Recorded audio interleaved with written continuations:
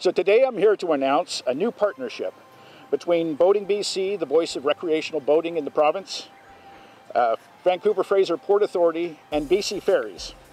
And beginning today in British Columbia, we're going to have a joint advertising campaign that's been made possible by Transport Canada.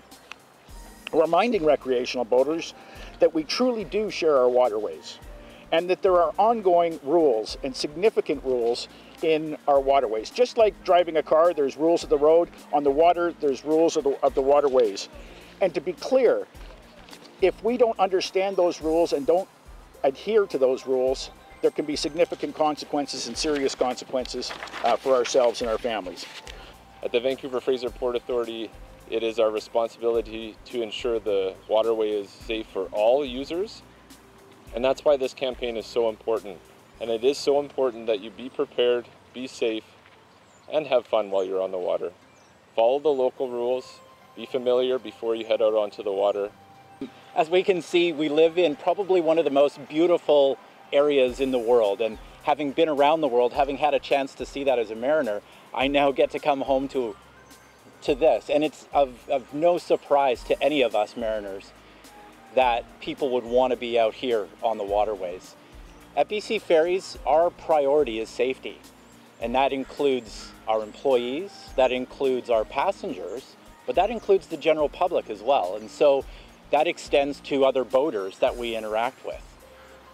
If there's any message that I think we would like to get out to the general public regarding boating safety, it definitely has to do with understanding what other people see of you. So what I mean by that is if I'm in a small boat, everything I do affects another boat that's around me, whether you know it or not.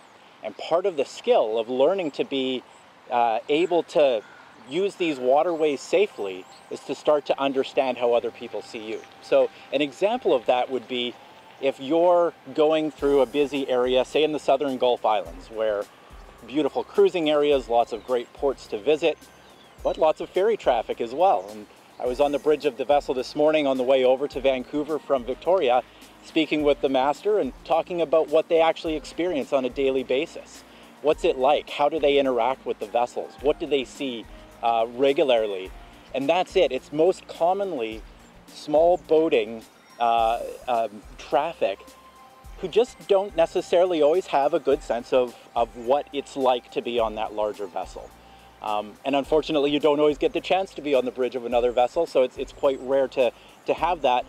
But having the ability to project yourself to see what it would be like to be on that vessel and understand that if you're in a large vessel in those small waterways, you have to be very cautious and very careful. 感谢收看今天的大多故事，我们下期再见。